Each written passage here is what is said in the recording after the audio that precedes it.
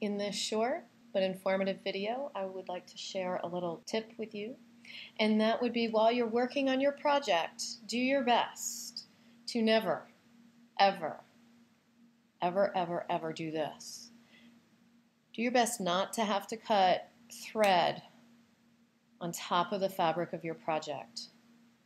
Because as you can see, you're spreading all of these loose conductive fibers that will embed themselves in the fabric of your project and cause short circuits somewhere down the road.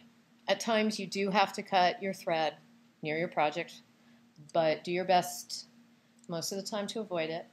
And when you do have to cut near your fabric, you can always use some scotch tape. And you can get the majority of those fibers out when you do that.